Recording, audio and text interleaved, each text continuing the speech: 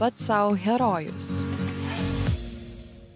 Labas rytas, gerbiami klausytojai, sveiki žinių radio žiūrovai ir klausytojai. E, su jumis sveikinasi sveikos gyvensenos treneriai Rasa Mančiuskaitė ir Alanas Zeranovas. Labas rytas.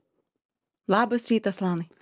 Žinai ką, nesnei skaičiau straipsnį apie sėdimą darbą ir ten rašė baisius dalykus, kad ten mirsim anksčiau, jeigu labai daug sėdėsim. Iš tiesų.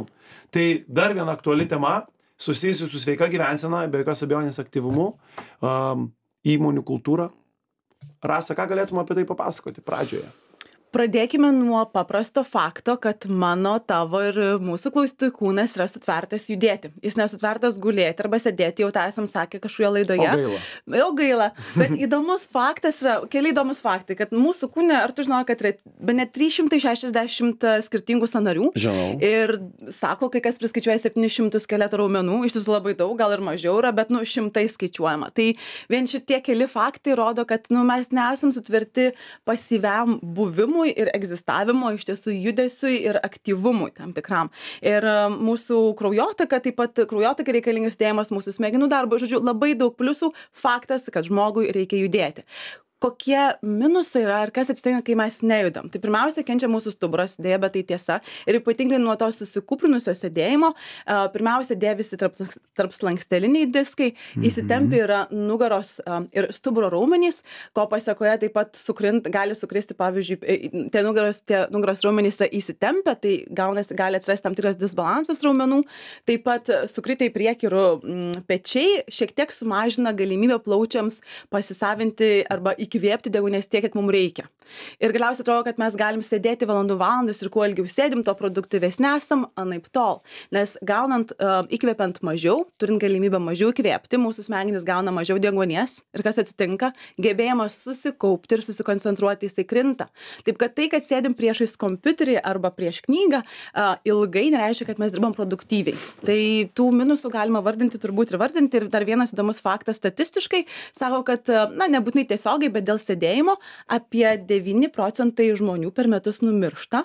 Tai yra apie penki milijonai žmonių jeigu skaičiuosim ar ne te tiksliai am, dėl tarkim sėdimo darbo pasekmių Pasekmių, tam pasekmių. tikrų. Tai iš tiesų baisu o tai ką padaryti kad na išvengti to? Kaip galim sau padėti elanai ir tu sėdi gi darbe. Šią vasarą lankėme nemažai Lietuvos įmonių, um, kuriems dalinom patarimus, kaip uh, aktyviau gyventi darbe, kaip leisti tas dienas aktyviau.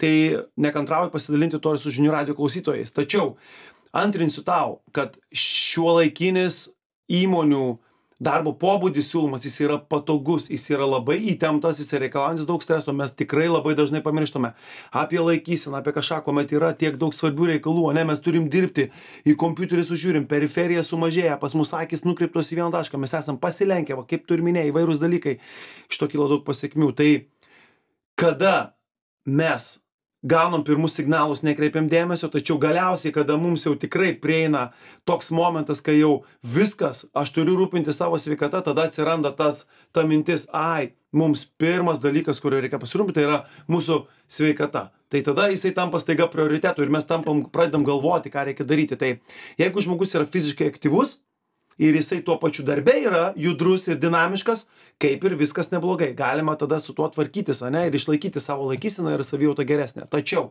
jeigu ne, patarimai būtų tokie. Pavyzdžiui, keisti savo sėdėjimo pozą. Tai yra pasisukti, pakeisti nugaros padėtį, išsitiesti, šiek tiek susilenkti, ne, reiškia visą laiką keisti savo padėtį. Tai būtų vienas iš tokių patarimų. Kitas, galima dirbti stovimo darbą. Tai yra pabandyti susiorganizuoti savo darbo vietos stovimo. Pabandykit, gal iš tiesų tai įmanoma. Viskas įmanoma, jeigu iš tiesų labai nori. Kitas dalykas yra tiesiog atsistokite, kas keliolika minučių. Paimkite, atsistokit, pastovėkit šiek tiek, ne? Kitas dalykas dar gali būti, pavyzdžiui, daryti dažnesnės pertraukėlės. Ir, sakykime, to pertraukėlių metu galite nueiti pas kolegą ir jam perduoti žinią vietoj to, kad rašyti ten, sakykime, per chatą arba kažkokį messengerį, jo, vadinamą mūsų liaudyje. Um, e, toliau galimi stovimi susirinkimai arba įvairūs tokie, ne, mes galime truputėlį kūrybiškai į tai pasižiūrėti.